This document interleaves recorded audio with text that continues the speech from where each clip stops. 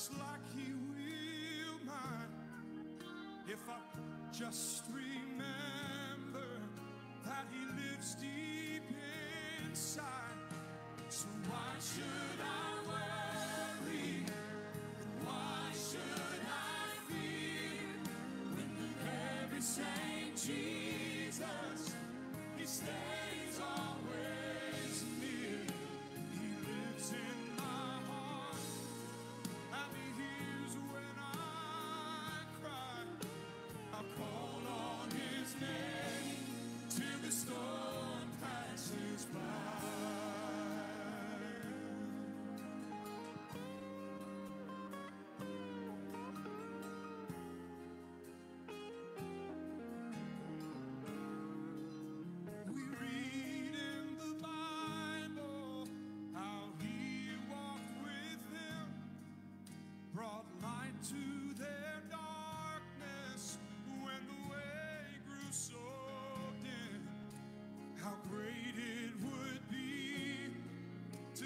steps leading mine and to walk with the Master all of the time. So when trials come and death is nigh, I'll just search for the Master.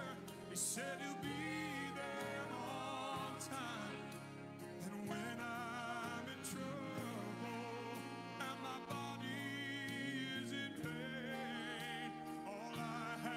to do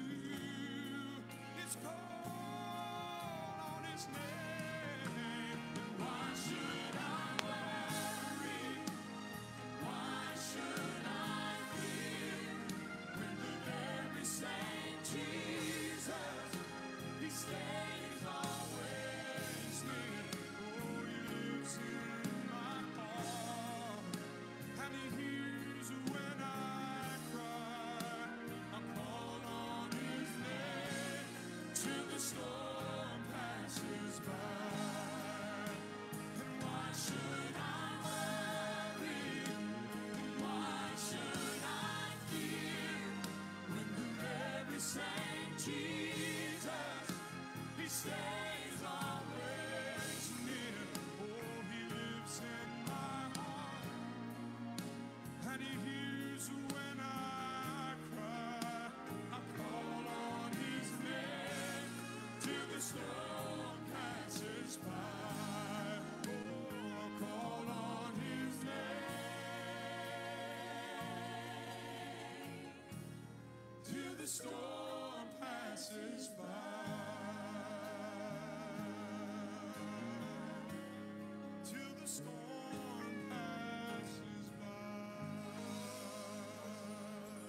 Verse again, please, if you will. Praise God.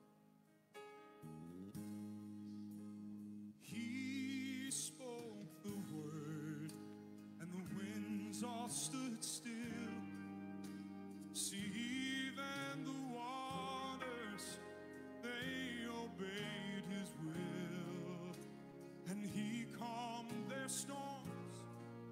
just like he will mine.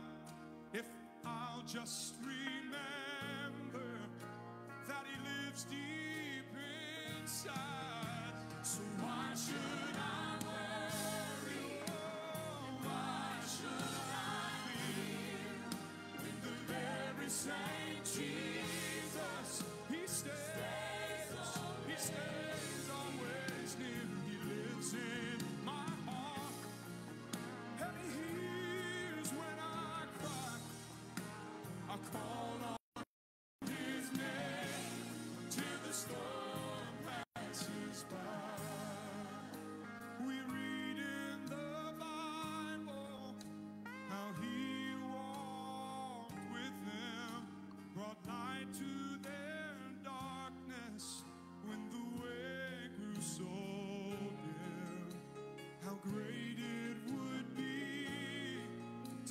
steps leading mine, and to walk with the Master all of the time. So, so when trials come and death is so nigh, I'll just search for the Master. He said, I'll be.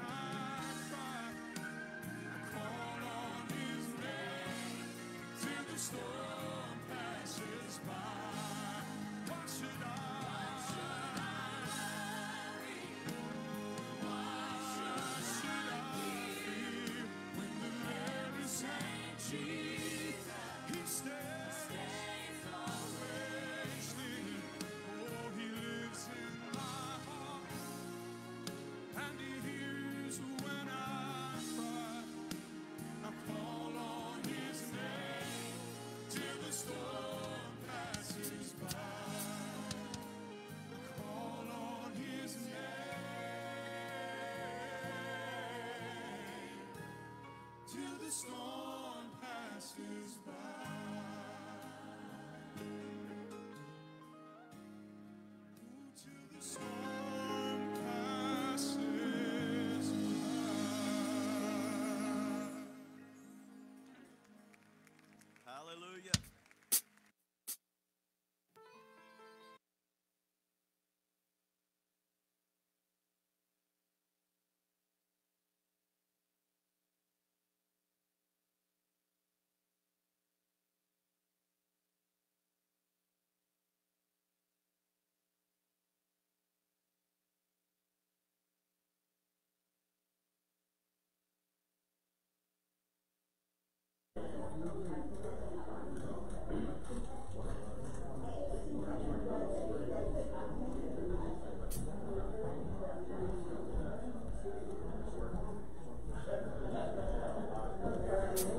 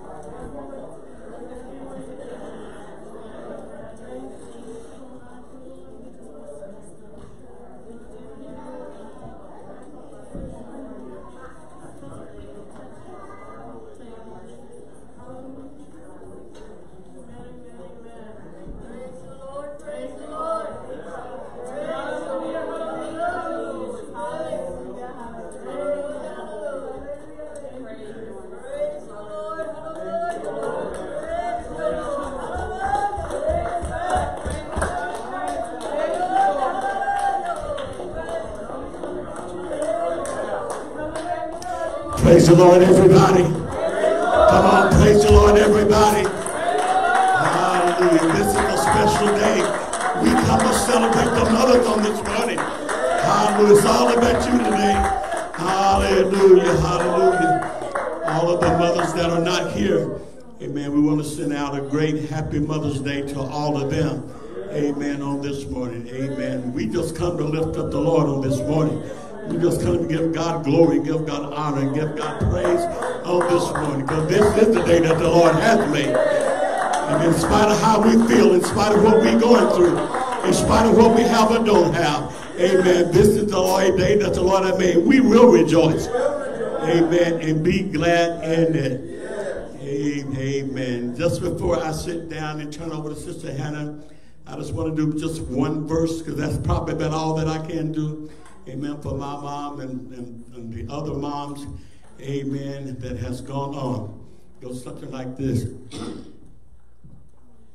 Faded rose, mama, that's all I have to give. But mama, I tried to give you flowers while you live. If I had a million dollars, I'll line your grave with gold. But that wouldn't wake you from your sleep as the pillars roll. But faded rose, but pebbles from this faded rose, mama. That's all I have to give. But mama, I tried to make you happy while you live.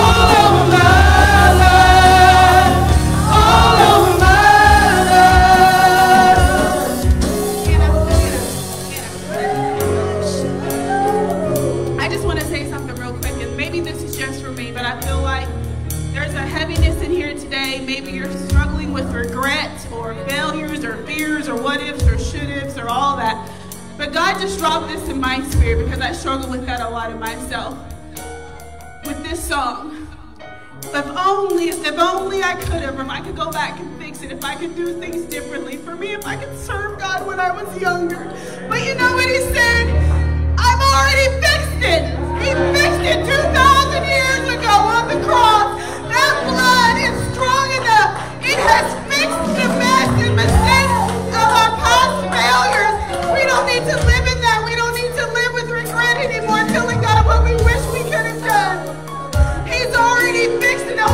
want this for us to walk forward today, knowing that he's fixed it, he's made a way.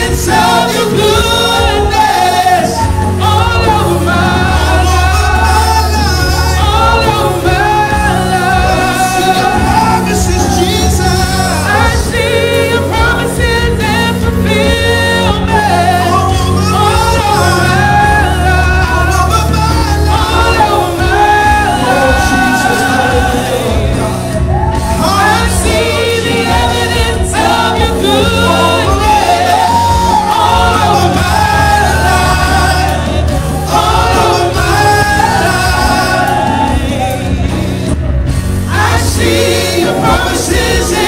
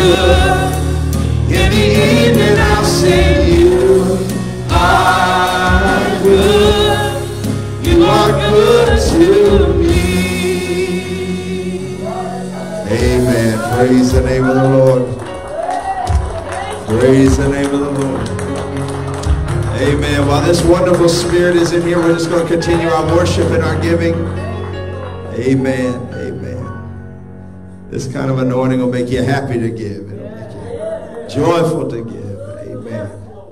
And we're going to give as the Lord has blessed us. Because how many of y'all know the Lord has been good?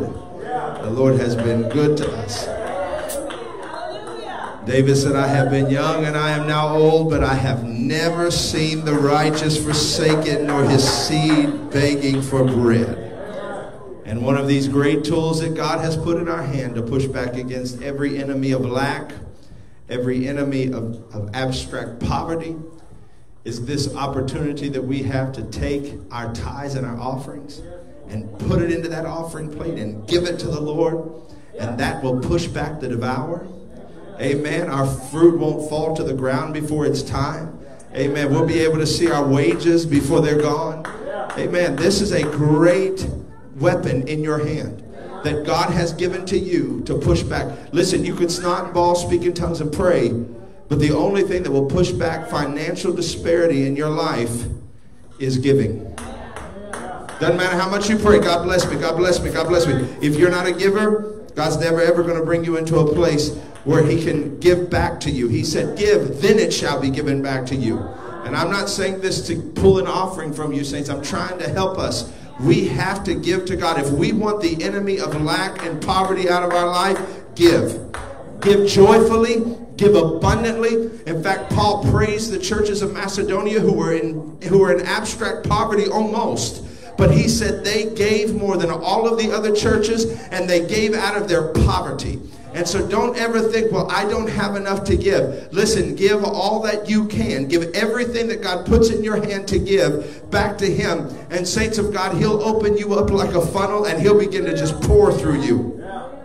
Because if He can trust you to give in poverty, He can trust you to give in wealth. He can. And so let's use this great weapon of worship this morning. Our weapon of worship at this moment is offering. It is tithes and offerings.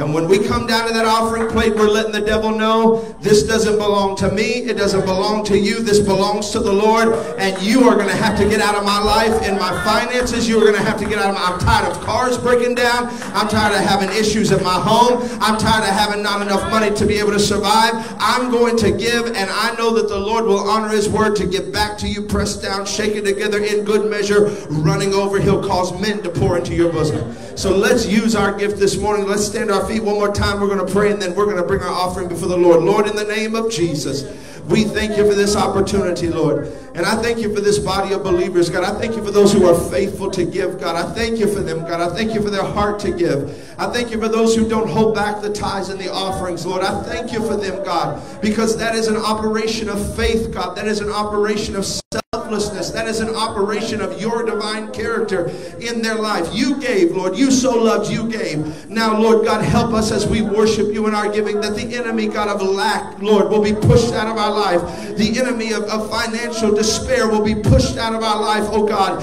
And we will see the blessing of the Lord overtake us, oh God, that we might in turn be a greater blessing to the work of God. And Lord, we will give you praise, glory, and honor for all of this. In the mighty name of Jesus, we pray. Amen and amen. Brothers, come, let's get this offering. Hallelujah. Mighty God we serve. What a mighty God we serve.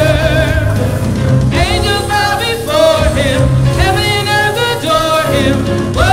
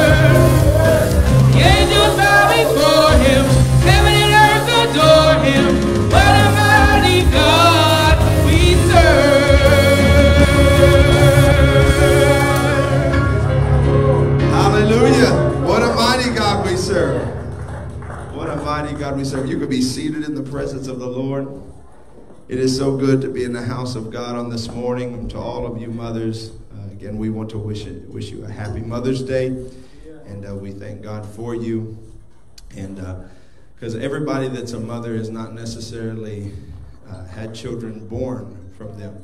Uh, some mothers are also uh, uh, adoptive, and some of them are adoptive without papers. Uh, there, there's, there's a wonderful thing about the church.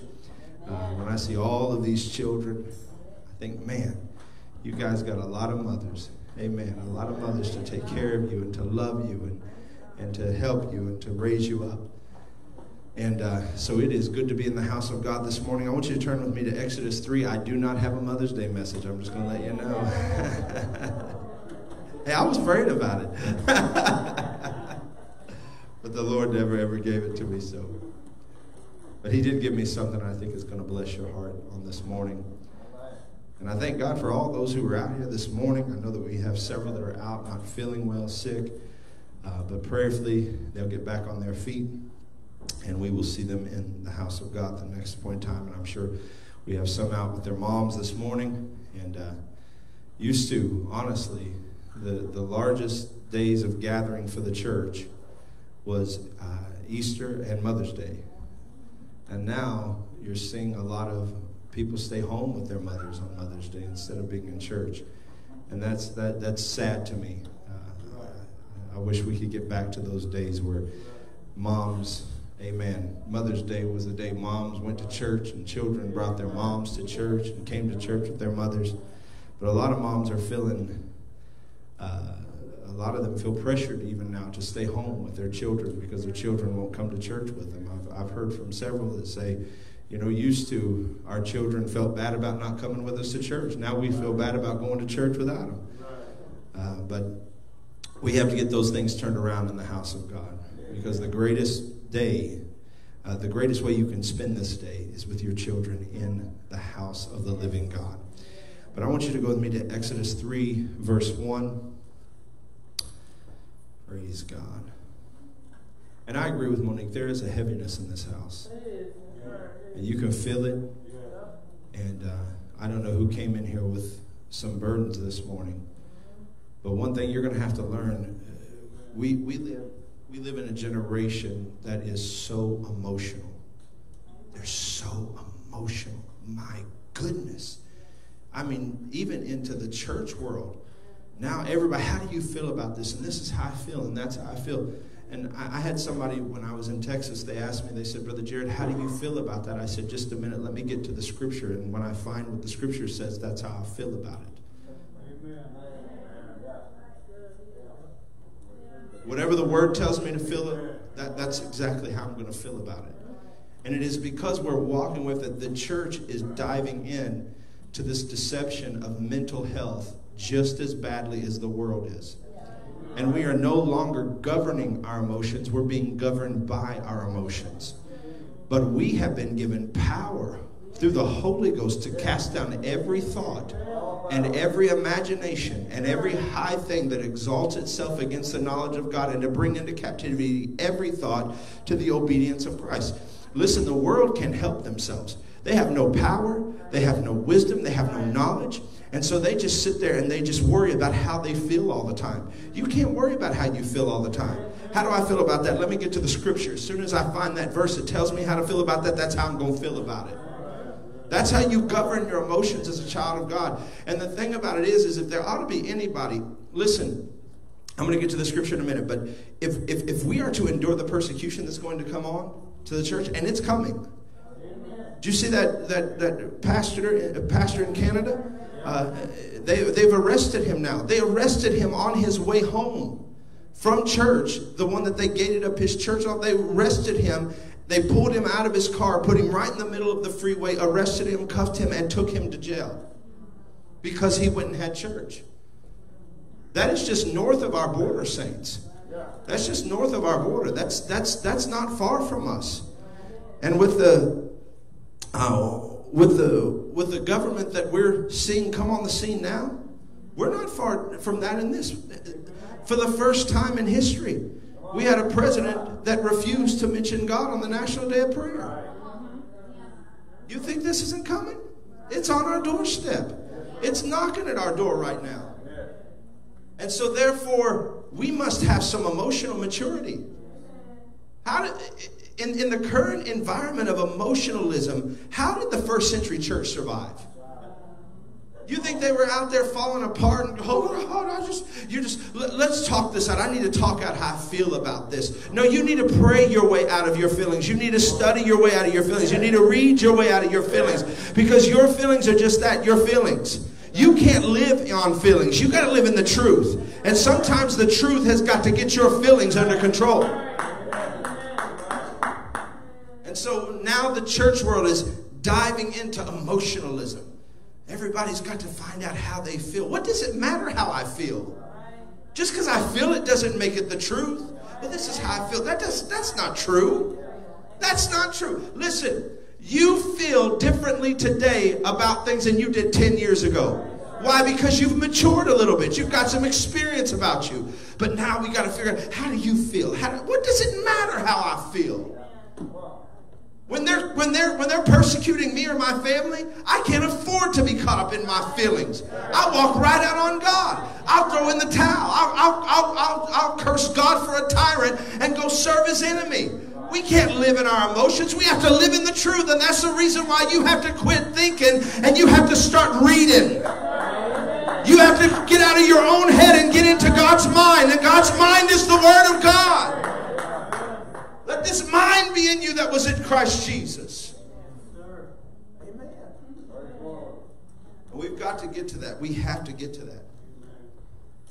All right, let's go to Exodus 3, verse 1.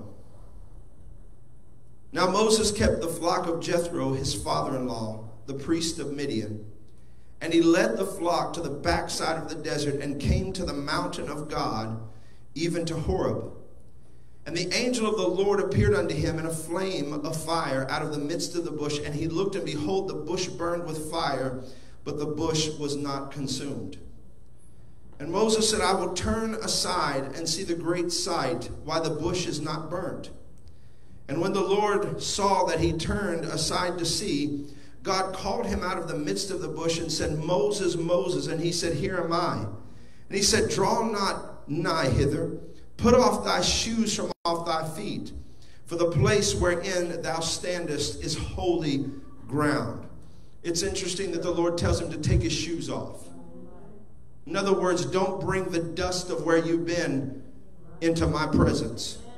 Don't bring the residue of your past into my presence. And most of us, that's exactly what we do. We track in the residue of our past into his presence. But really, that just defiles the whole moment. So the Lord looked at Moses and said, Get your shoes off. The place you're standing right now is holy ground. Now, I want to talk to you, I want to give you some history, and we all know the history of Moses, but let's talk about this. Moses, of course, was saved by his mother when she put him in a basket and, and floated him down the river. He comes to Pharaoh's daughter, uh, who's out in the midst of the river, and, and she, she, she looks and sees that the baby is a Hebrew. And she looks at her servant and says, Go find me a Hebrew woman to nurse him.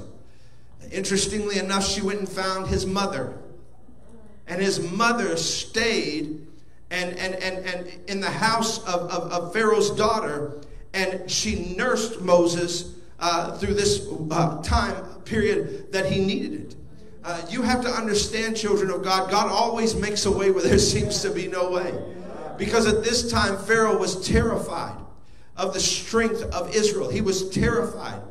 And, and he wanted all of the male children to be killed. He wanted them uh, to be cast out into the river and, and killed because he was terrified of their strength. But you have to understand that it doesn't matter what the enemy has in plan. God always has a purpose for every plan of the enemy.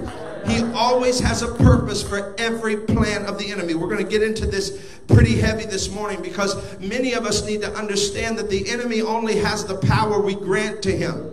He only has the power that we accept that he has. He only has the power that we give to him. You have to understand every time the enemy takes over your life, it's because you have given him control. Every time the enemy is wreaking havoc in your house, it's because you've opened the door to your house. Every time the enemy is wreaking havoc in your mind is because you've opened the door of your mind to the enemy. Every time. Listen, you have to understand sin is always at the door knocking. The enemy is always at the door knocking, and you're going to have to ask God for some discernment about you because every voice that comes into your life is not God. Some of us have to, I don't care if they claim Christ, I don't care if they claim Jesus' name. You have to be able to discern between the voice of the Good Shepherd and the voice of the counterfeit who's going to use his name to do whatever he wants in your life. Amen. We have to even be careful of music here. Hannah goes through the music because every song that is written in a Christian form is not necessarily glorifying to Christ. It's not theologically correct. And so we're not going to get up here and sing it because it's culturally acceptable. We're going to get up here and sing it because it is scripturally accurate. Are you hearing what I'm saying? Because the enemy slips into music. And all of a sudden you'll find yourself singing something that is not it, that is contrary to the word of God because they slipped it in to a Christian song. You have to be careful what preachers. My goodness, quit watching so many podcasts. Be careful what you put into your spirit. Everybody that claims the name, listen, if they don't give scripture for it, cast it out. If they don't give the word of God for it, cast it out. If they can't prove it to you in the word of God, cast that voice out. It is not a voice of scripture, it is a voice of human reason. And the only place that human reason can take you is to the very place that God had to deliver you from in the first place. We have to get this junk out of our spirit because the enemy has a plan. Uh, men are, are, are becoming emotionally fickle. They're becoming emotionally weak. Listen, the, the, many of the men of this generation could not have survived the World War II generation. They could have not. They could not have survived the Vietnam era. They couldn't have survived it because now they're all in their feelings. They're all in their emotions, and that is a plan of the enemy to weaken your mind. Because if he can get you in your emotions, he weakens your mind. He weakens your resolve. All of a sudden, instead of you sitting there saying, that doesn't matter how I feel about that, this is what the Word of God says. It doesn't matter what I think about that, this is what the Word of God says. All of a sudden, now we're engaging our emotions. We're engaging them. No, we're being governed by them. Because the enemy has a plan. Anytime the work of God begins to strengthen, the first thing the enemy goes after is men. He is terrified of male authority. He understands it. That's, that's, what, that's what blows my mind. The church has seemed to have lost the whole, the whole mentality as it pertains to the male authority that God has divinely given to men. And, and, and the enemy's over here saying, No, I know how this works. I know if there's strong men that raise up, I'm in trouble. I know if there's strong men that raise up, that there's going to be a lot of strongholds broken. I know if there are strong men that raise up, I'm going to have to take a back seat. I know this. And so what do I do? I go after the men and I start messing with their emotions and their feelings. And I get it. Come on, somebody. And now preachers are no longer able to preach. We have to become psychiatrists and psychologists to try to teach you how to manage your emotions. And much of it is done through human thought. And I'm going to tell you here, as the people of God grew strong, the enemy went right after the male. He didn't go, he said, if their girls are born, leave them. But if they're men, kill them. Take them out. Because I can afford to have strong men rising up in my kingdom. They will overthrow me. But what they didn't, what he did not understand is God always has a ram in the bush. He always has a plan for the purpose of the enemy. He always has a strategy when the enemy begins to fight against the people of God. When he begins to oppress the people of God, the enemy, the, the, the Lord always has a strategy.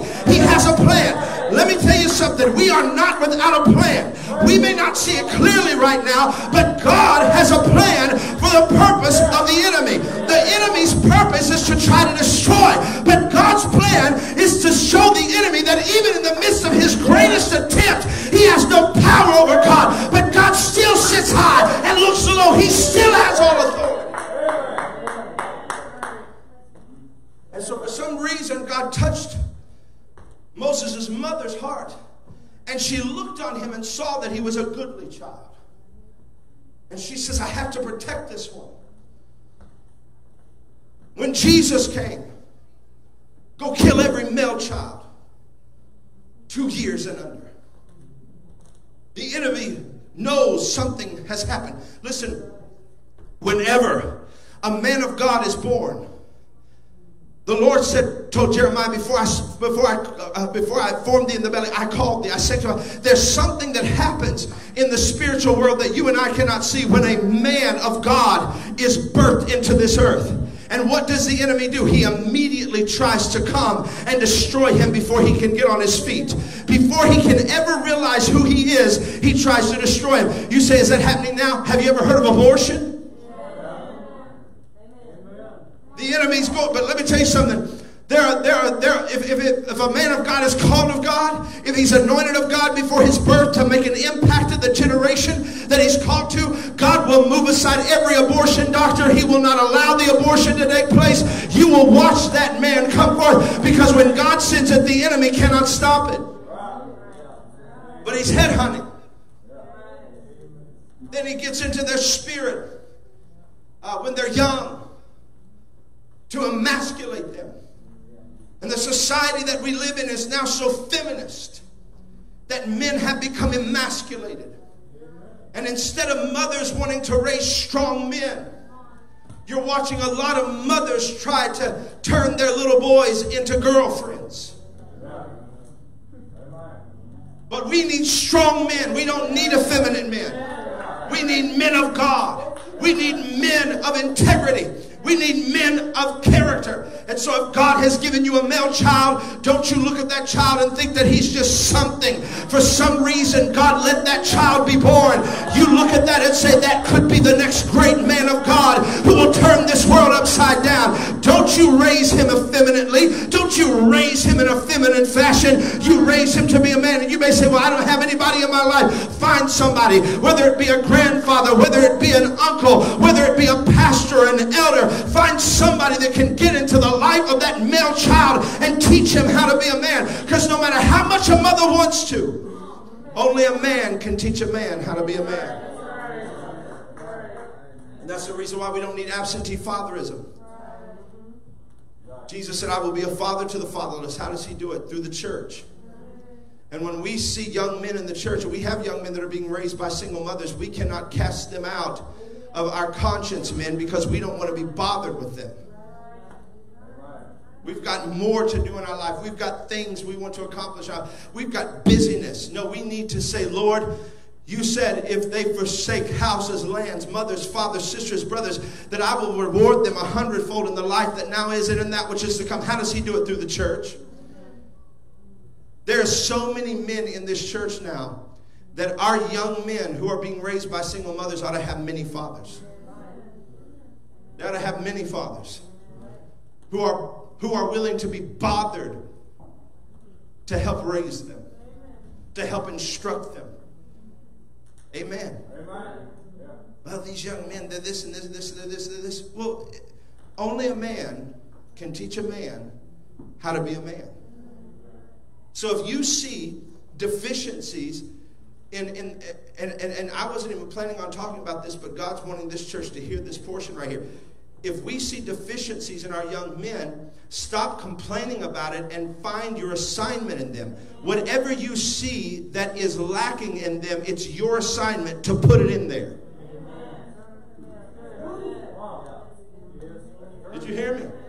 Instead of you sitting there and demeaning them and putting them down and calling them whatever name you want to call them, it is your job. If God has opened your eyes to see that lack in their life, then God has given you the assignment to take what they lack and give it to them. You have it, brother. I have it, brothers. Let's take these young men and give them what we have.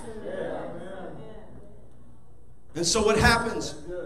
He goes and he takes uh, he takes fathers out of the home uh, back in the, in the 40s and 50s within the black community, it was so strong. The families were strong. What did they do to destroy the family? They took the father out of the home. They made it harder for women to get any type of government assistance with a man in the home. Come on, somebody. And what took place? That family unit was destroyed. And now there are a lot of young men walking the streets of our country trying to find father figures, and they're finding them in gang leaders. Come on, they're finding them in hip hop stars. Let's go. Come on. Let's just get real this morning.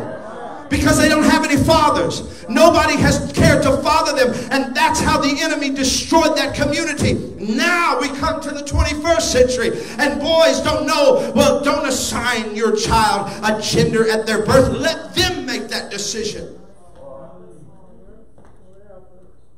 We got a, we got a transgender uh, male who's running for the governor's seat of California. And now even conservative news organizations are applauding that junk. Not calling it a him, but a her. We're talking about conservative news organizations who used to care about this stuff. Now it's her. And the, the, the, the, the, the, the you'll notice most of it is coming after the male. You don't see young girls identifying as boys playing in male athletics. But you see numerous young men identifying as girls playing in female athletics. Because they're after the men. They're after the male. The enemy knows if I can take out the male, then that's it. I got it. And that's the reason why we must raise our young men to be emotionally strong. We cannot raise them to be governed by their emotions. We must raise them to take control of their emotions and live in the truth. And here the enemy was after this man because a great man of God had been born. Really, a precursor to Jesus Christ had been born. A prophet like unto Moses. God would raise up among yourselves this man of God who was about to deliver three and a half million Jews from the hand of Pharaoh was born. And the enemy knew at that moment. It's amazing that Pharaoh wasn't trying to kill the male children until Moses was born. Now Moses is born. He, he saw something. He saw it when he wasn't, the enemy wasn't trying to kill the male children until Jesus was born. But all of a sudden, we need to kill the men. Because the enemy is threatened by it. He saw something took place. He saw whether it be a shift in, in, in, in, in the supernatural world or whether it be a word that he heard spoken. He saw something. But just as uh, Moses' mother did when, when, when, when, when Jesus was born of, of, of Mary and, and, and Joseph took her and Jesus and he went down to Egypt and hid them until Herod's wrath had been overpassed. But we have to understand, children of God, this is an important day that we live in. If God has put male children in your life, whether it be biologically or whether it, it be children in the church, whether it be grandchildren, whether it be sons, whether it be nephews or, or, or, or otherwise. Stop looking at them with disgust and start looking at them as an assignment.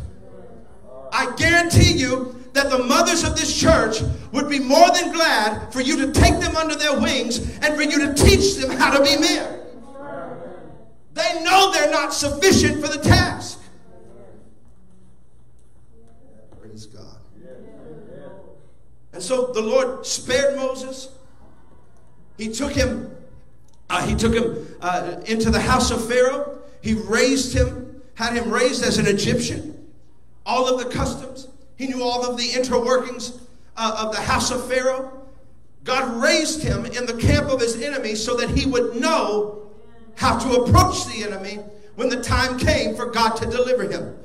God did the same exact thing for Saul of Tarsus. God allowed him to be raised under the feet of Gamaliel in the sect of the Pharisees so that when he would take this gospel into the Gentiles, when the Pharisees would come in, Paul would be able to sniff that out and he would be able to push back against that system that was trying to infiltrate the church. Good God in heaven. You have to understand God always has a purpose, a plan for every purpose of the enemy. Maybe God spared you when you were in an environment of hell and hot water. Well, what did he do it for? So that you could turn your nose up and forget where you come from? Or did God put you in that environment because somebody's coming down the pipe? Because there's there's another you coming down. And instead of you ignoring your history, you need to be able to take some knowledge from your past and say, you know what, I know where you are, but I also know where I am. And let me show you what God can do from where you are to where I, good God. He allowed him to be raised in the house of Pharaoh. Then one day, Moses is out walking amongst the Hebrews because he knows he's not an Egyptian. He knows he's a Hebrew. He knows it. He knows it. He sees this guard mistreating this one gentleman, and he took him and killed him and hit him in the earth. And it was found out, and Moses had to flee into Midian from the face of Pharaoh. But we have to understand something, children of God, that that was all in God's plan. Moses would never be the deliverer as long as he was still in Egypt. There are too many of God's children. Listen, Egypt is a type of the world. In the scripture, Egypt is a type of the world. There are way too many of God's people trying to remain in the world and deliver those who are captured by the world. But in order for God to deliver his people, he had to take Moses out of Egypt, take him into another land so that he could bring him back to Egypt. Before God's ever going to use you as a great deliverer in your life, you're going to have to absolutely, 100% totally come out of the world. God cannot use us to deliver people out of the world as long as we find our home there. Ah, good God in heaven. You're going to have to be cast out from this world. You're going to have to flee from this world. You're going to have to flee for hope.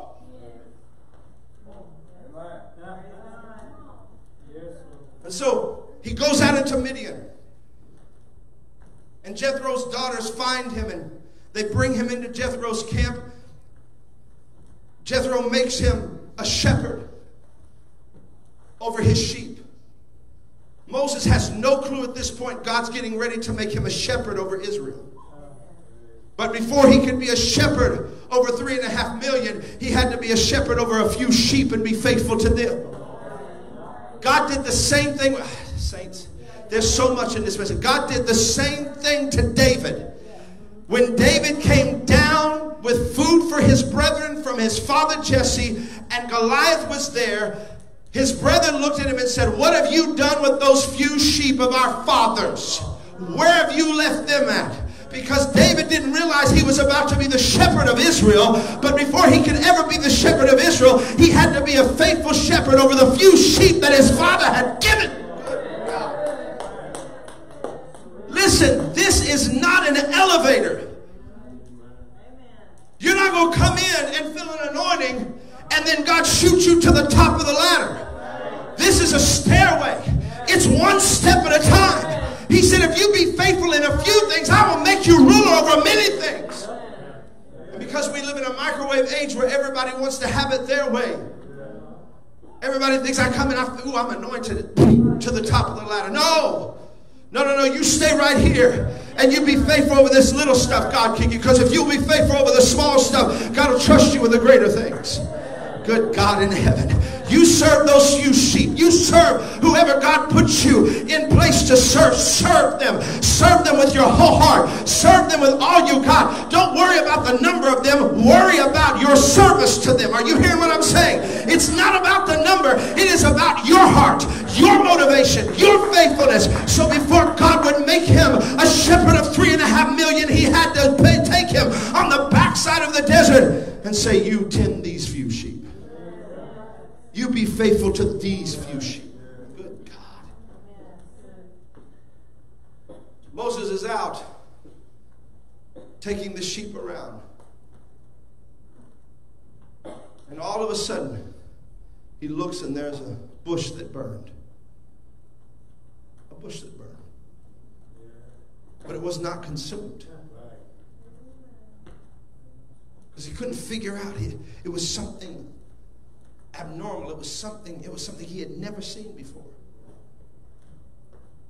Listen, there are things about God that you will see on the backside of the desert that you will never see in the limelight. I have not learned about God in the limelight as much as I have learned about God in the backside of the desert. A lot of people hate the backside of the desert because the backside of the desert almost seems demeaning. It seems humiliating. Why am I here? God, I know more. I'm, I feel like I'm more. No, I feel like I've got more. But let me tell you something. It doesn't matter about what you have. It matters about the motivation of your heart. And it is the backside of the desert that reveals the motivation of your it's can you serve when you don't hear the applause? Can you serve when your name is not on the flyer? Can you serve when your name is not on the marquee? Can you still serve God when you're not up here with your name in lights? Can you still serve God when nobody notices that you're there? Can you serve God when you don't hear thank you? Can you serve God? Because it's not about how people react, it is about what you do. Can you serve God in the backside of the desert? Can you see God on the backside of the desert? I'm concerned about some children of God because the only time they're spiritual is when the lights are on. But can you see God on the backside of the desert? Can God get your attention on the backside of the desert? Or are you angry and depressed and feel like you're being mistreated and feel like nobody cares about you and feel like you're being pushed backward? Can you still see God on the backside of the desert? Moses came from being a prince of Egypt to being a lonely shepherd on the backside of the desert. God in heaven. And yet he still was able to see the hand of God on the backside of the desert. I'm telling you, if you are in the backside of the desert, look for God. There's a burning bush somewhere. Look for the arm of the Lord. He's going to speak out to you. God in heaven. Can you see him on the backside of the desert? Can you recognize him on the backside of the desert? Then he says, God speaks out to Moses and says, Moses, Moses. So in other words, even if he had been a even if he had been a foregone thought in the minds of the house of Pharaoh, God knew where he was. Let me help you. Some of us are still seeking the approval of people that God is trying to deliver us from. Your dad may never ever be okay with where you are. Your mother may never ever be okay with where you are. Your grandparents, your friends, your family members, your co they may never ever be okay with where you are. Why are you here? Why are you there? Why can't you just come over here? Why can't you just do this? What's wrong with you? Why can't you? Why can't you? Why can't you? Why can't Listen, they may never ever be satisfied with where you are, but God's trying to deliver you from them because he needs you to follow the lamb, not them. Oh, I hope you're hearing what I'm saying. He needs you to follow the lamb, not them. Because I want you to understand the backside of the desert is a season. It's only a season. But the length of that season is going to be determined by your response to it. Oh, God, help us. I said the length of that season is going to be determined by your response to it. How will you respond on the backside of the desert? Will you fall out on God? Will you get angry with God? Will you get depressed? Will you get all into your feelings and your emotions? Well, how do you feel about that? What does it matter how I feel about it? This is where God has me. This is what I'm doing right now. And the only thing I know is to be faithful to God right here and right now. It doesn't matter how I feel about it. You say, Brother Jerrod, how do you keep your emotions so even kill? Because it does not matter how I feel. I have an assignment to be faithful to God where I am right now. So I don't care how I feel about it. What's it matter? So you're telling me you don't have any feelings? Oh no, I get feelings. But you know what I do? I go out and mow my yard. I go out and walk around. I go in here to the church and I pray. I go in my office and I pray. While I'm doing all of that, I'm getting me under control. I'm forcing my thoughts to yield to my truth, and my truth is the Word of God. Jesus said, Sanctify them by thy truth. I've kept them by thy truth. Thy word is truth. How you feel is not truth. What you think is not truth. The word is truth. So I'll be, I'll be, I'll, I'll find myself out mowing, grumbling. I'll, I'll be in my feels. But then I start to go, wait a minute, Jerrod. Amen. I put some worship music in my ears. And I start talking to me and God. and I start telling God how grateful I am for Him. And I start telling me to get myself under control. Because I, I can't afford to be in my feelings. I have to be in the truth. Praise God. So, what do you do on the backside of the desert? Moses says, Here I am. Can you respond to God on the backside of the desert? Can you? Because I'm going to tell you something. Some of your greatest miracles are going to be on the backside of the desert. I, God will show you. I'm telling you, saints. You say, How do you know, Pastor Jerry? Because I have been there, done that, got my t shirt, rode the roller coaster, amen, ate the cotton candy. I have been there.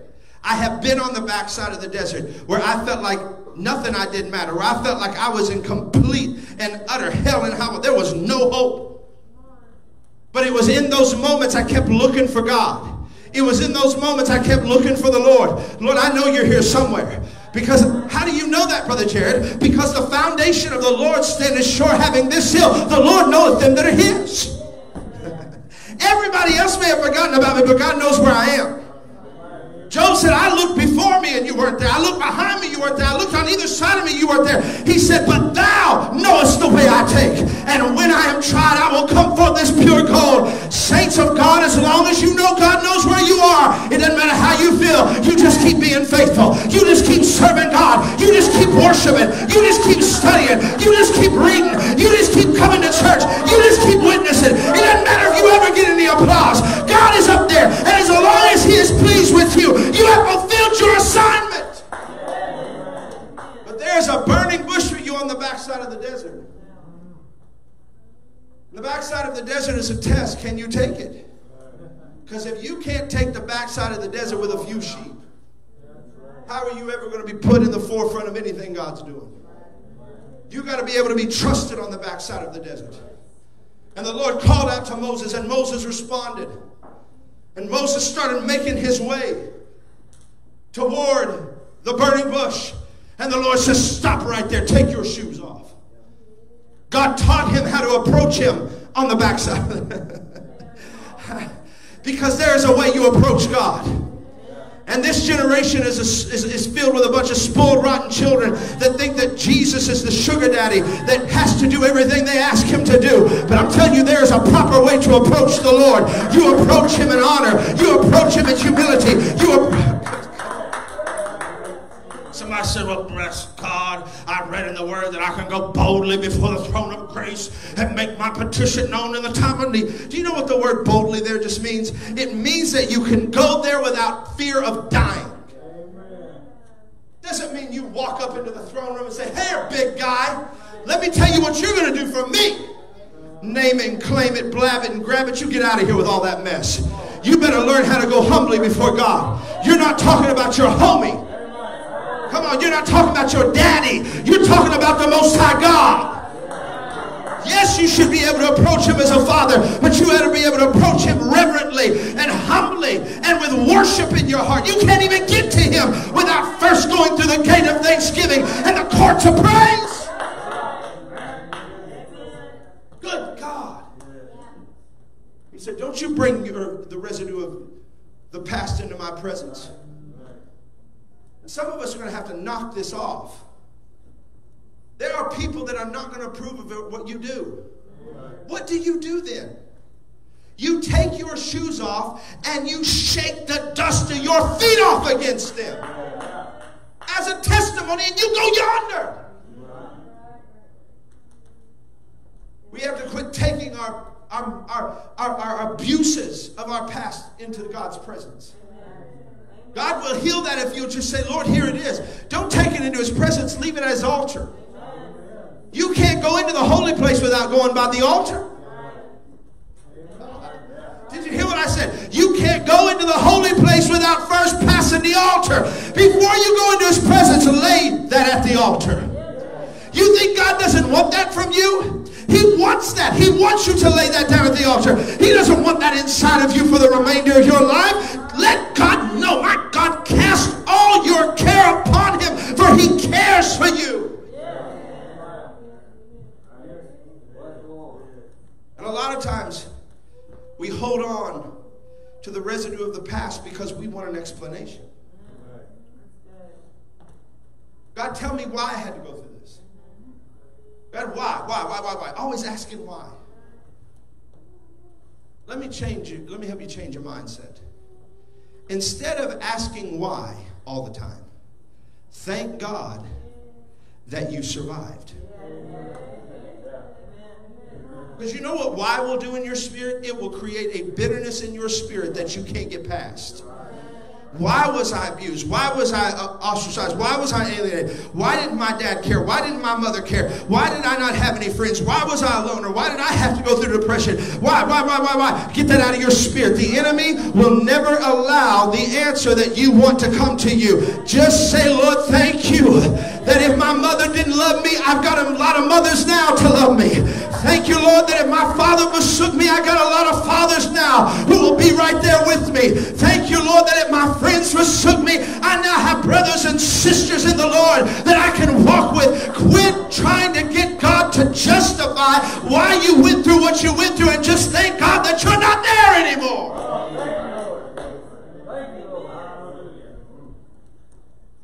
Well, it's not fair. well, fair, let me, you know what fair is? Fair is a human perspective.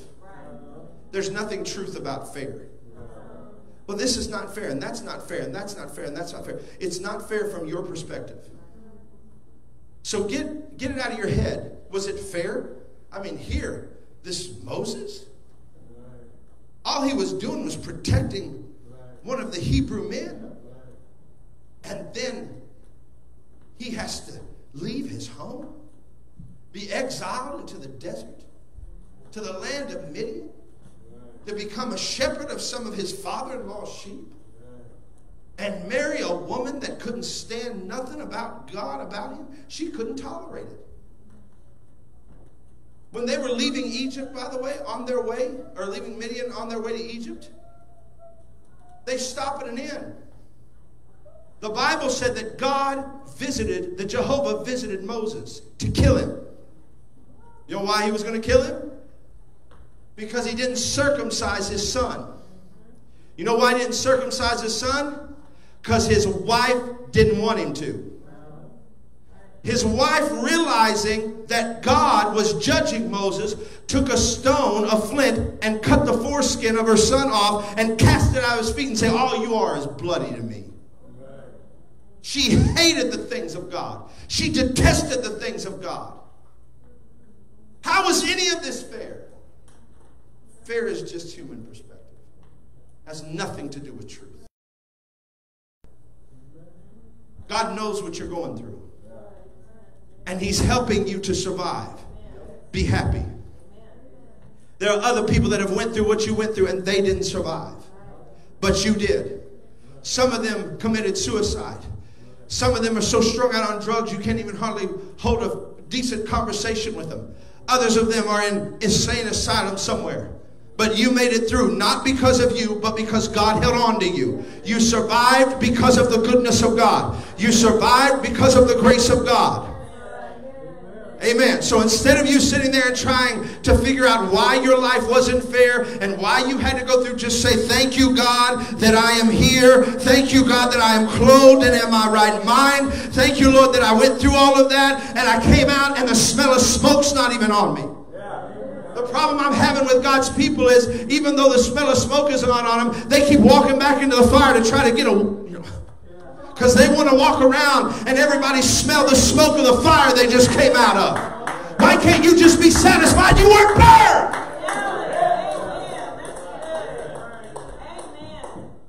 People have to know I was a victim. Can you believe that they threw me into that fire? Can you believe what I just went through? And you're wanting everybody to smell the smoke on your clothes. You need to learn as a child of God that there are some things God's going to let you go through. The fire won't touch you, the smoke won't lay on you, and you won't come out like you never went through it. Just be happy you're still here. Oh, God.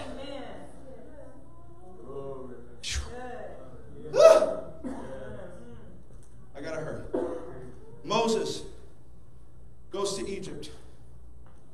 But there's something here that is so powerful. Go with me to the fourth chapter.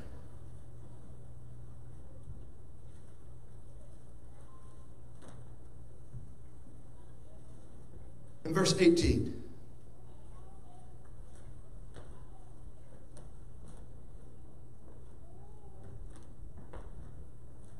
And Moses went and returned to Jethro his father in law, and said unto him, Let me go, I pray thee, and return unto my brethren which are in Egypt. He didn't say, Let me return to my brother who is in Egypt. He wasn't talking about the house of Pharaoh, he was talking about the children of God.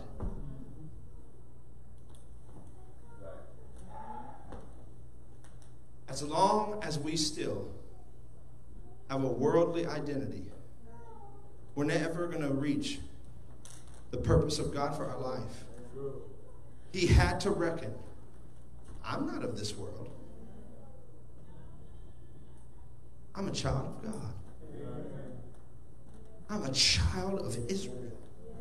And those be my brethren. There was no straddling the fence for him. He was going to his brethren. We have got to come out of the house of Pharaoh, children of God, and quit identifying with the world. We pray for them, we witness to them, we talk to them, we try to pull as many as we can out of the fire while we can. But we are not their brethren. We are not their sisters. Well, who is my brother and who is my sister? He that doeth the will of my Father. You are my brothers and my sisters. If my natural family decided today to walk out on God and never return, you would be my brothers and my sisters. Because the brothers and the sisters are they that do the will of the Father. And there is this doctrine finally weaving its way into the church that we're all brothers and sisters Muslim or Catholic, Hindu or Buddhist. We all serve the same God and we are all brothers of the same Father. No, we are not. There is only one name given unto heaven by which we must be saved, and that is the name of Jesus. That is my Father's name. That is the family name. I can't go into the kingdom without it. They are not my brothers. They are not my sisters. They are God's creation. But my brothers and my sisters are they that do the will of my Father that is in heaven.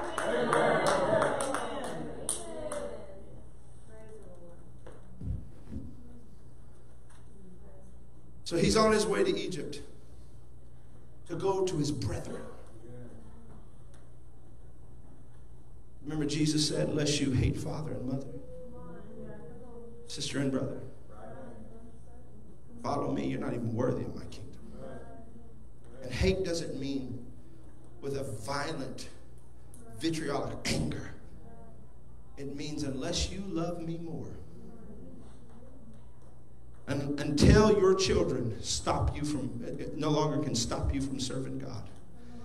Until your parents can no longer stop you from serving God. Until your spouses can no longer stop you from serving God. Until your siblings can no longer stop you from serving God. Until they no longer have the power authority over you to hinder you from being faithful to God.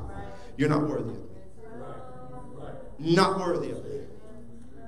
Children of God, we can love our relatives, but we must love God more. We can love our family members, but God must be the object of our affection. I'm going to my brethren, which are in Egypt, and see whether they be yet alive. And Jethro said to Moses, Go in peace. And the Lord said unto Moses in Midian, Go return into Egypt, for all the men are dead which sought thy life. While Moses was on the backside of the desert, God was killing his enemies.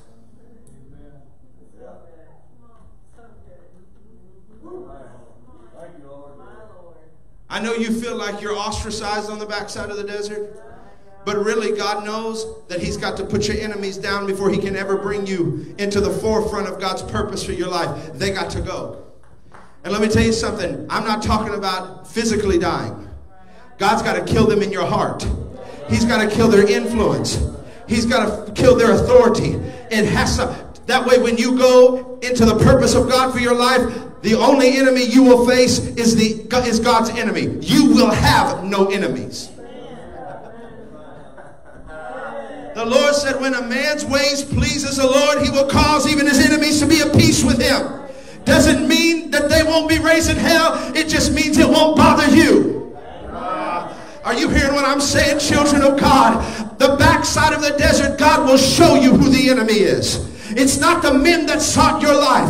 It's not the men that tried to destroy your ministry. That's not your enemy. For we wrestle not against flesh and blood, but against principalities and powers, against the rulers of the darkness of this world and spiritual wickedness in high places. Moses, why you're here, all those enemies are dying because when I go, when you go to before Pharaoh, I can't have you looking over your shoulder. I can't have you continuing to worry about your enemies.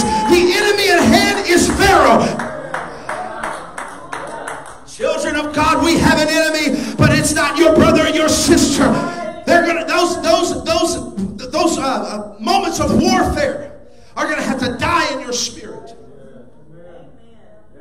Because if you're not careful, and let me tell you something, I know from experience, if you're not careful, you will use the purpose of God to try to kill the enemies that the Lord has already extinguished. As a, once they're out of your life, they're no longer they no longer have influence. And the only way they have influence is for you to continue to think about them. I don't need you worrying about your enemies when you go before Pharaoh Moses. While you're on the backside of the desert, I'm going to let all them die. So that when you go, because in order for the Lord to have said this to Moses, Moses must have been worried still yet about the men who sought to take his life. He must have still been worried because the Lord said, Now they're all dead. Now go to Pharaoh. If you don't extinguish these enemies, some of y'all got so many enemies. I listen, and you you preachers listen to me because I'm going to tell you from experience. I see some of y'all on Facebook and they're constantly attacking their enemies. I mean, after their enemies. I, I've done it, been there, done that. Guess what? It just eliminates your purpose.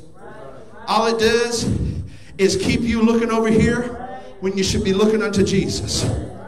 Listen, the only way they can destroy you is if you give in to their influence. But if God be for us,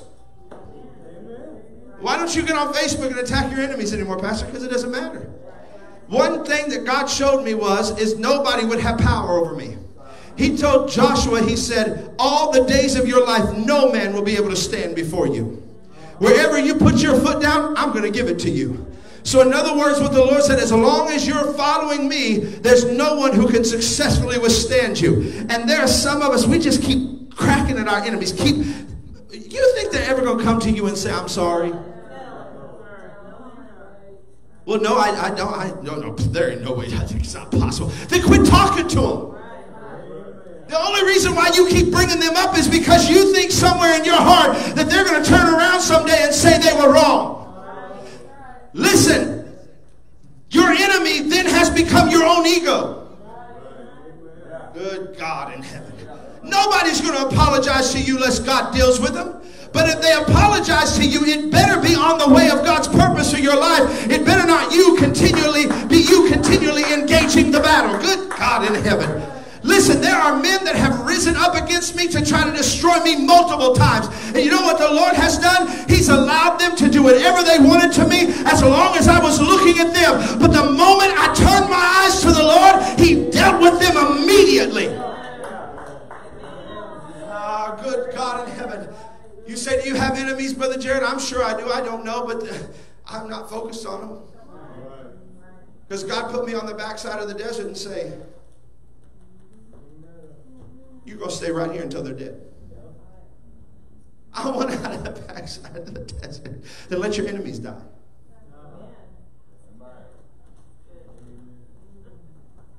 Oh, y'all quiet now. Well, how do they die?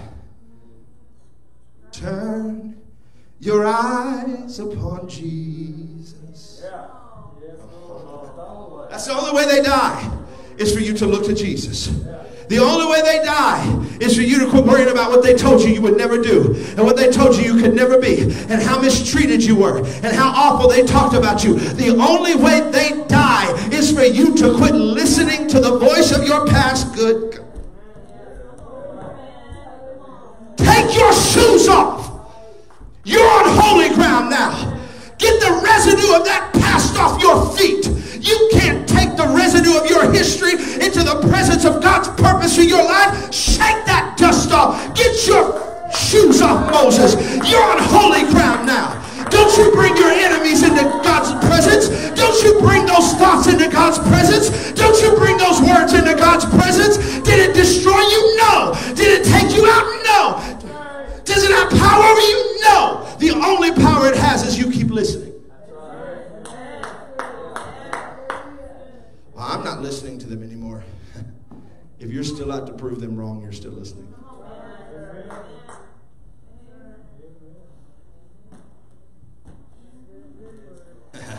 Look at my ministry now. Yeah.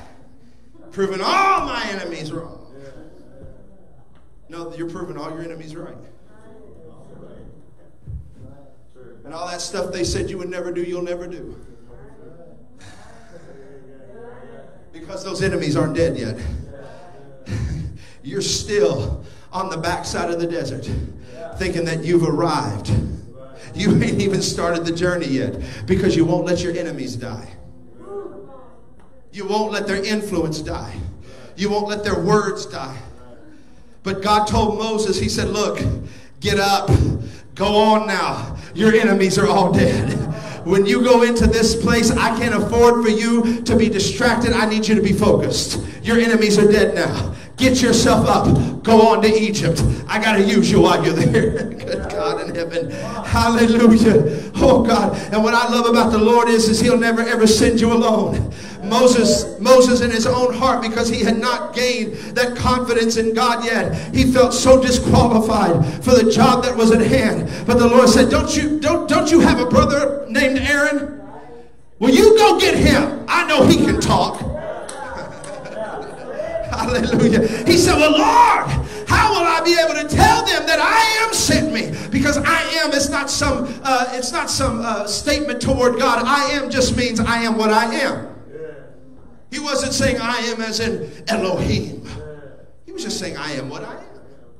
So, in other words, who sent me? Whatever you need.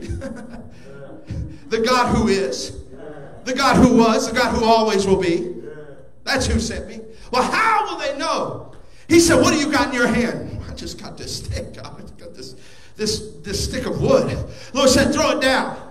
Turned into a serpent. Moses steps back.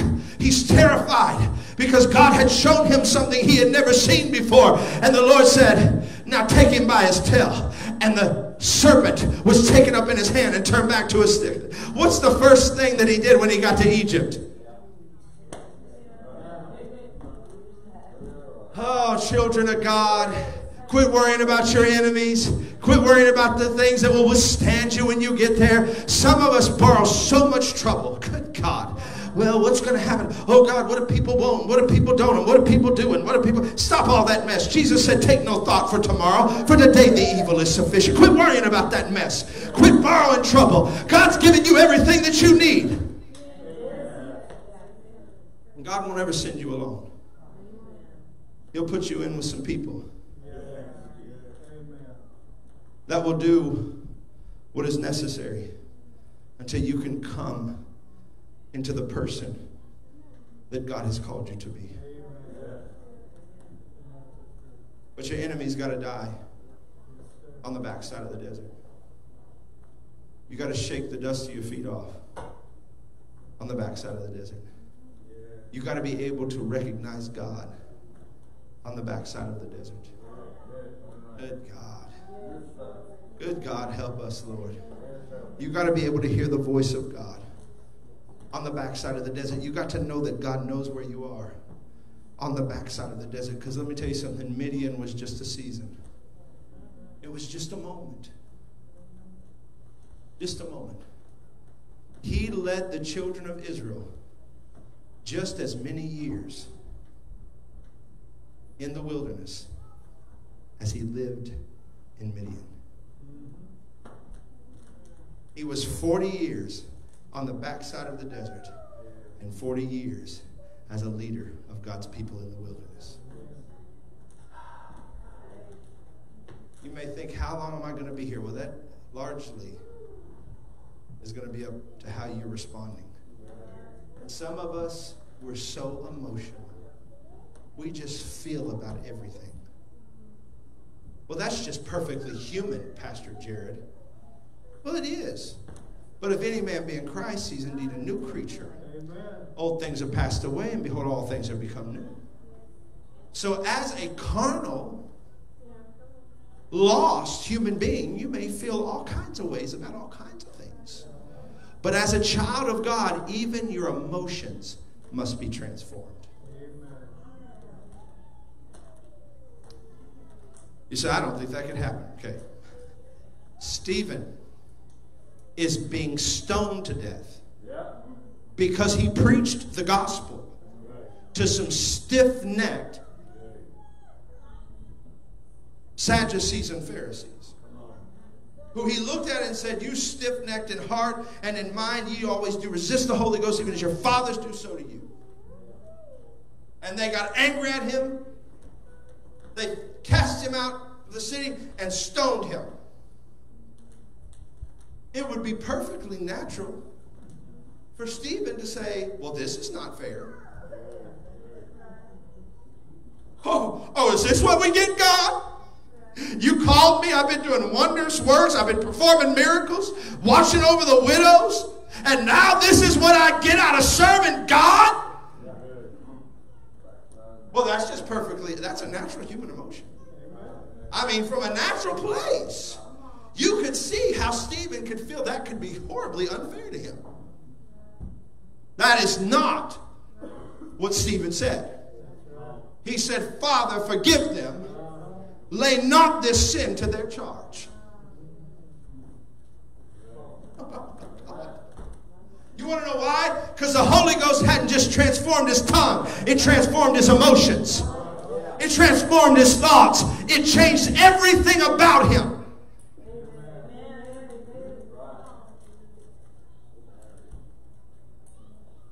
Till a man by the name of Saul, who was destroying the church, persecuting without measure, wasting it, became the greatest promoter of the church he tried to destroy.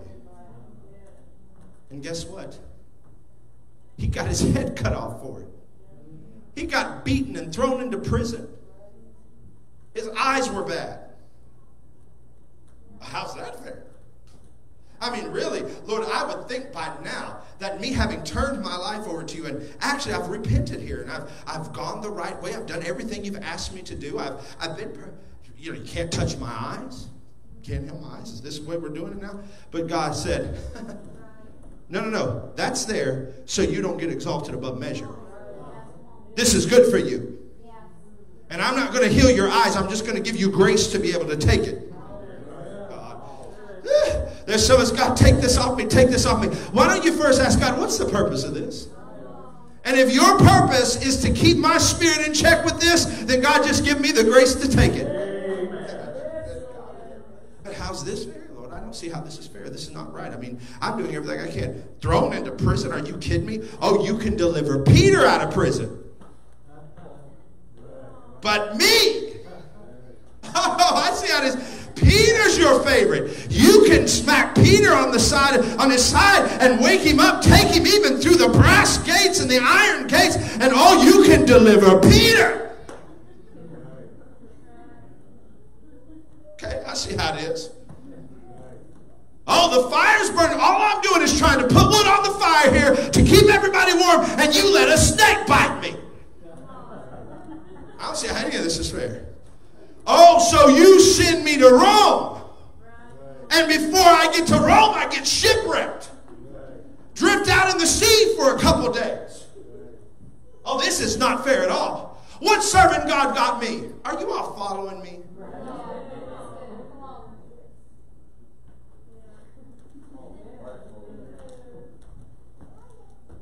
Well, that would be perfectly natural emotion. But that's not the emotion of a Holy Ghost filled child of God whose mind is being transformed by the Word. This is what you learn on the backside of the desert. Are you going to be perfect when you leave the backside of the desert? Nope. But you'll be ready to face the real enemy. So, Brother Jerrod, what should I do? Learn in whatsoever state you are, be content. If you're on the backside of the desert, thank you, Lord, for this. I don't know what I'm going to experience while I'm here. But Lord, I know that I'm going to see you in it. I'm going to hear your voice. You're going to be killing all my enemies until when you finally take me out of the backside of the desert and push me back on my way back home. I'll be prepared to encounter the real enemy when I get there. I can tell you today, saints, honestly, I have had animosity and anger and bitterness and even at times revenge in my spirit against people because of how they have done me and things they've done to me and said to me. And one day I just woke up and I thought, hmm, wait a minute, I'm still here. I'm alive. The church is still here. God's still speaking to me. I'm still able to serve God. I'm all right. I'm all right. And I stopped worrying about the criticism and I started praising God for the deliverance. There are some people that can't walk with you where you're going, and you're just going to have to accept it. Because two cannot walk together unless they be agreed. There are some people God's just going to pull right up out of your life. And instead of you being bitter that they left, thank God that you were delivered. I was talking to Brother Hill about a change that had happened during our ministry some time ago. And he looked at me and he said, Brother Jerrod, I didn't want to be the one to tell you, but I knew that was going to have to happen a long time ago for you to move forward. I've had three or four men tell me that. While I was sitting there angry because people left, it was just deliverance. Are you angry at them? I'm not. Do you have any bitterness in your heart? No, I don't. There's nothing in my spirit. I'm telling you, there's nothing in my spirit about it. I'm fine with it. You want to know why? Because it wasn't that they walked away. God delivered me.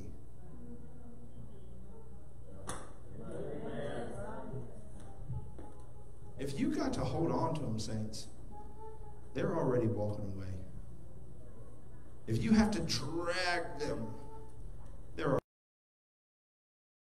walking away. So when God lets people walk out of your life, it may hurt for a minute, and it does. But just sit there and say, Lord, where are we going now? Where are we going now? Better days ahead, greater days ahead. I'm not going to get angry anymore about it. I'm not going to let myself be emotionally up about it anymore. You let them go. John said if they left us, uh, they left us because they were not of us. For had they been of us, then surely you just have to learn. Okay. Okay. On your way, I'm just going to follow the Lord. And I'm not going to be angry at you because if God ever works this out in your spirit, maybe you'll come back around and you'll walk with us again. And maybe you won't. But nevertheless, I'm going on with the Lord. Amen. Whew. I hope this has blessed you. I know this is not a Mother's Day message, but saints, we got to hear every word that the Lord has said today. and let God help us. The backside of the desert is just for a season. Be, be looking for God. Because when He reveals Himself to you, you'll be on your way into the very purpose that God has created you for. All right, we've got a few things we want to pray for here. Uh, Sister Joy has asked us to pray for her and Brother Rick. They're both sick, so we want to pray for them. I know Leslie is out sick today, so we want to pray for her. Um, Sister Lindy is out sick. We want to pray for her. Um, trying to think if there's someone else. Well, we want to pray for the saints that are not here today for whatever reason. Maybe some of them with their mothers, maybe some of them, uh, maybe they stayed up too late last night. Who knows? But for whatever reason they're not here, we pray that God will keep tugging on their heart and draw them back. We will have service tonight at 6 o'clock. Um, somebody said, but it's Mother's Day. I understand. Go be with your mother. Have dinner with her. Enjoy your time with her. Amen. But then we're going to come back to our mother, which is New Jerusalem above, which is free, the mother of us all. We're going to go into the mountain of God. And we're going to have a wonderful time tonight. So invite people to come to church. Let's come back with testimonies and a word in our heart, worship in our spirit. Um, and let's just pray for those who are sick. We to, uh, women's prayer is going to be this Tuesday at 6.30. Sister Ashley's baby shower is going to be May the 15th at 2 p.m. Our next doctrine class is going to be May 17th at 7 p.m. And that is barring I don't have some type of flight delay coming home from Memphis, so y'all pray. Um, we need donations for snacks for kids' church and nursery, especially if your children are a part of that. Bring some snacks. We, we, need, we need help on that end. Please see Sister Chandra for more info. All right. Let's see here. Um, if you would like to volunteer in the prison ministry, please see Brother Joe and talk to him about that uh, and let him know. Want to keep praying for the street ministry. If you would like to help on the street ministry, whether it's praying with people, talking with people one on one, preaching, or holding up signs, see Brother David or Sister Michaela or Sister Ashley or Sister Caitlin, one of them, and talk to them about it. They surely would love to have your help uh, as you can, and absolutely let's keep them in prayer. Um, all right, we've got a presentation. Oh, School Award Night is the 21st at 7 p.m. Everybody in the church is invited.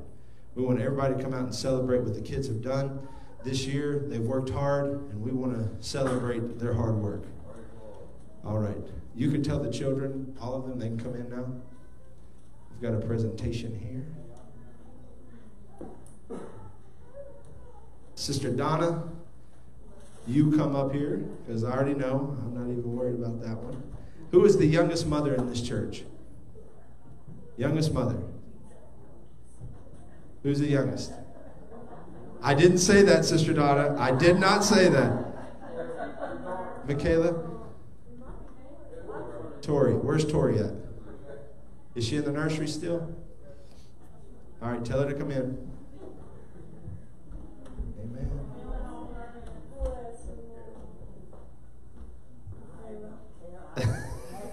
just, she said, I don't care. I'm just glad to be here.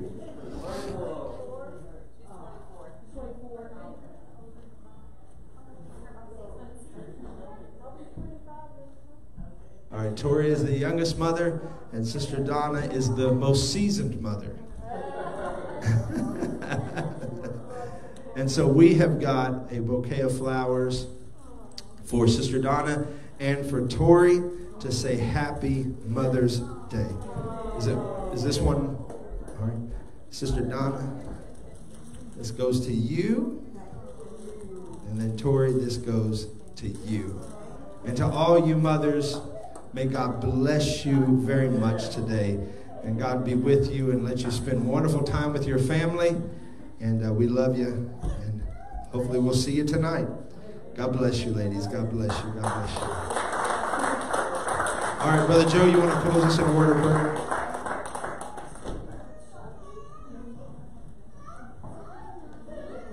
Had some powerful challenge I'm going to ask you to think with me a minute. Just for a minute. I'm not going to keep you long. But when we have trouble, instead of thinking we're different or special, remember everybody has trouble. Wears a different suit of clothes for some than it does others. But we all have trouble. I try to learn things from everybody I come in contact with. Man in the prison told me one time his grandmother raised him, and he said, one thing she taught me I wish I'd listened to. She said, Son, when you have trouble, don't always pray for relief. Sometimes pray for a stronger back. Carry your load. You know, we all got a load to carry. And sometimes we think, well, God doesn't love me because He won't take it off. But you young folks, when you're trying to do something physical, you have to be in condition for it. So instead of saying, Lord, take my load away, no, Lord, give me a back strong enough to carry it. We all got problems, we all got troubles. But thank God, He's got all the answers. Thank you, Lord, for this service. So we come together again tonight, Lord, watch over each and every one of the people here. Those who weren't able to be here, Lord, give them strength to overcome. And Father, we just thank you for the blessing of the message and give us the strength to endure in Jesus' name. Oh, Amen.